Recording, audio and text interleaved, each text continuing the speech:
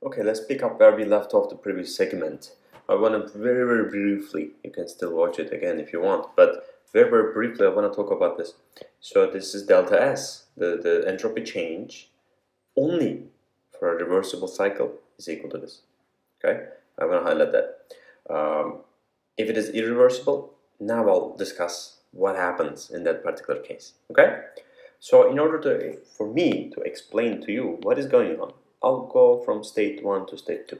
Okay, but the way that I'll go to state 1 and 2, then I will also go come back from state 2 to state 1, 2. Okay, and what I want to do is I want to say that this is reversible.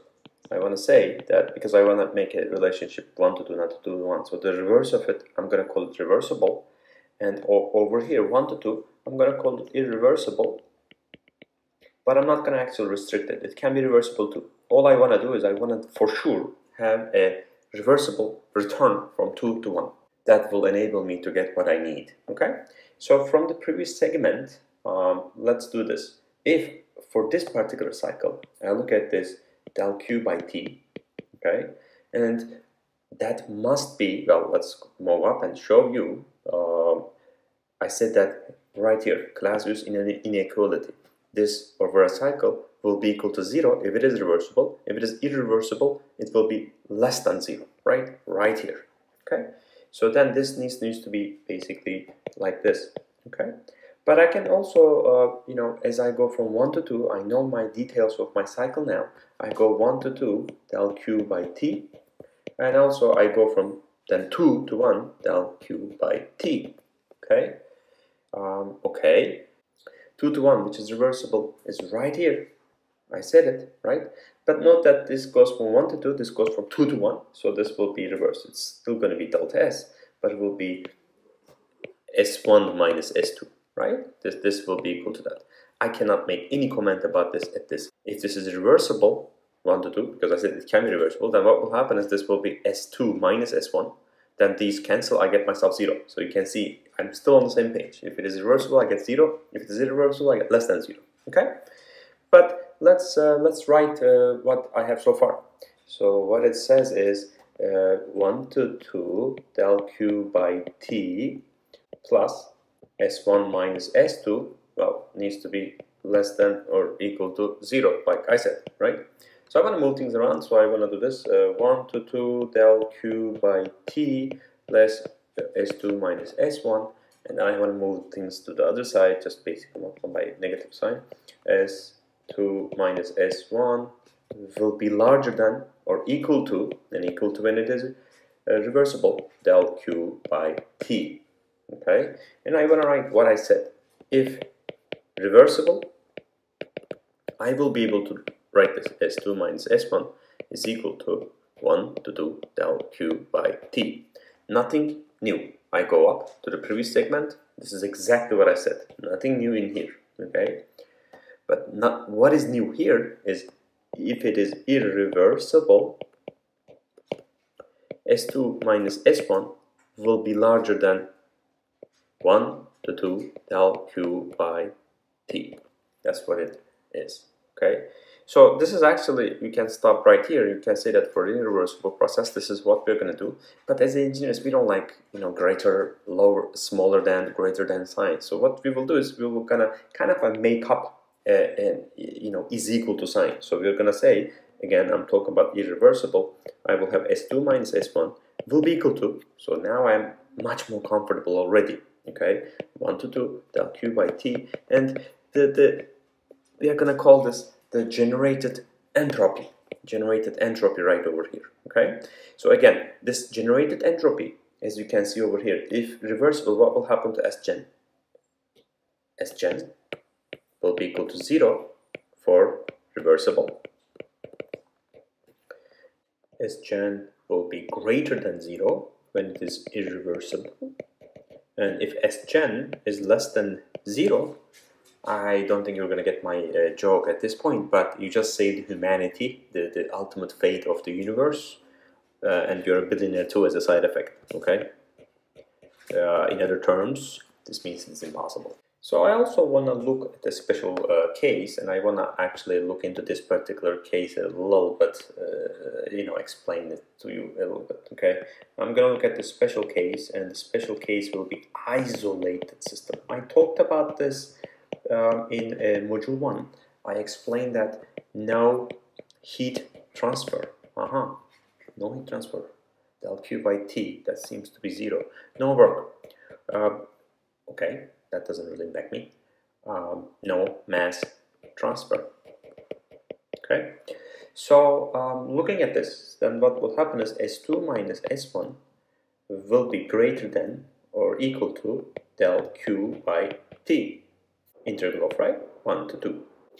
Um, remember, I also write, you know, if, if I choose to, I can write this this way 1 to 2 del Q by T plus uh, S gen. And right over here you can see Sgen is greater than 0 etc.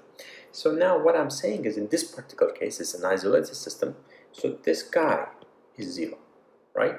So the integral of 0 will be well you got it. That that's gonna be gone right? Or same, same thing in here. So this is 0 right so over here what I can write is S2 minus S1 is greater than or equal to 0 every single time so then if any process S2 for an isolated system will be this s1. So basically, what this says is, you know, again, you may not appreciate so far, but let me explain what's going on over here. I said that, you know, when it is equal to, they are equal to one another for an isolated system, when this is a reversible process. And what did I say in Module 6 about reversible processes? Do they exist in real life?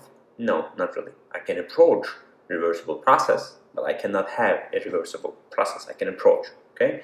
So at the best case scenario, the when I go through a process, the entropy goes stays the same, or most likely, in reality, every single time the entropy will increase. And you're saying, okay, wait, wait, give me an example of an isolated case or isolated system so I can appreciate what, what you're talking about here. Well, here's the deal. Universe is an isolated system. Okay? If you have an additional mass outside of the universe, well, that's not the universe, right? Universe means including everything. Okay? and there's no other thing to have work interaction, heat transfer. So universe is an isolated, isolated system. Okay, so then what will happen is entropy of the universe goes up and up every single process that goes through. Okay, and so what does this all mean though? Okay, entropy it goes up. What is entropy in physical terms? Okay, there's like a letter S. The S goes from 5 to 7. Oh, wow, great. Well, not, not that simple. So the entropy is related to, from physical terms, is it disorganization or randomness. Okay? So uh, I want to actually uh, pick up something that you do know. Um, in order for me to have, let's say that I have a bucket, I have ice in it, right? So when I add heat, right? Well, it says over here, when I add heat, my S2 will go up. So if I go to, for instance, liquid, my S will be S of liquid will be greater than S of ice. Okay, this will be smaller. And then I put additional heat and I get myself gas. And this is S of gas. So what is going on over here is as the as I add heat from here, right? Um, you know, you can see this is not an isolated system, so that's not zero. This is a non-zero, so I, properly I, can, I should indicate in here, like in here, right? So then the, the thing is, as you know, the ice or a solid is much more compact, right? The atoms are molecules. Liquids are not so much. Gases are completely random and uh, disorganized.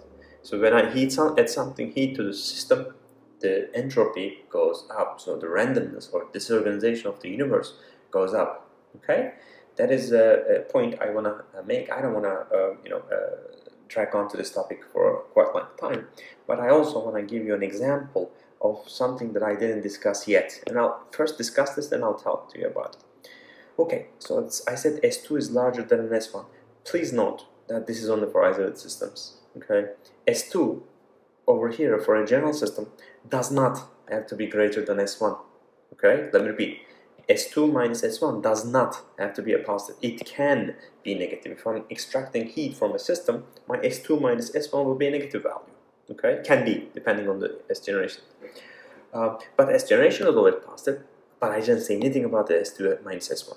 Okay, and this term can be negative too depending on the direction of the heat transfer. Right? If the temperature goes down, for instance, or heat is extracted from your system, this term will be negative. So then S2 minus S1, most likely will be negative 2. Okay, so just want to appreciate those differences. S2 is always greater than S1 for a irreversible, isolated system. Okay, okay. So I want to put some numbers because I'm still kind of uncomfortable. Um, you know how much uh, you know uh, clarification I was able to uh, you know give because this this thing is a little little dense. Okay, so I, I let's say that I'm going to start easy. I'm going to say that I have a re reversible isothermal process. And I want to be more specific in the process. I mean compression. I'm compressing this piston. It's a closed system, right? At the beginning of the segment, I said that we're looking at a closed system, and here it is, right? The most common one that we use is piston cylinder system, right?